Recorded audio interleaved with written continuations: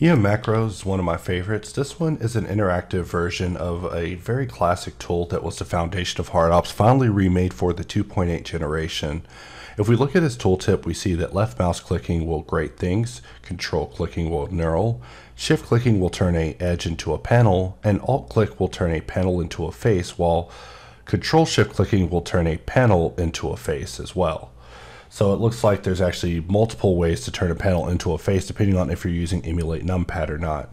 So to show this in action, we'll press 3 and go into face mode.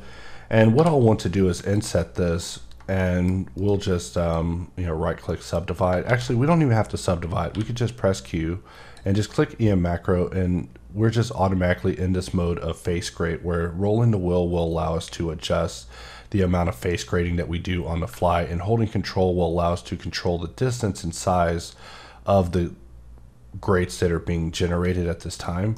And whenever you click to apply that is it. You've just generated some face grates. so quick way to create some instantaneous detail in a centralized area so we'll go with this top face and we'll inset this as well. And we're insetting it because we want to maintain a quad flow for feeding this thing because if you feed it ngons, it won't actually do anything. It does require a quad face in order to perform the operation. So the easiest way to show it in this demo is to inset each face. So we'll press Q and we see that the next one is control clicking. So by control clicking, we can just move the mouse in order to dig in how far we want with our knurl. We can also point it outwards, which is a difference between this one and the last one.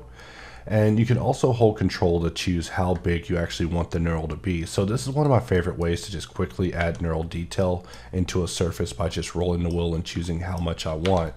The next one we want to talk about is going to be basically shift clicking this to do a panel edge. So whenever we shift click this, notice that the first thing we're able to do is adjust the depth of it, but holding control will allow us to control how much that we're closing in on this thing.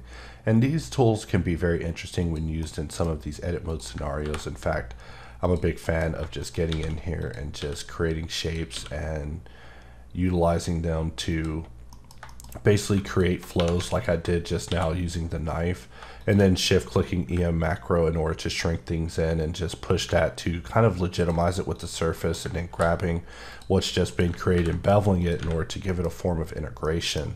So that is basically edge panel in a nutshell.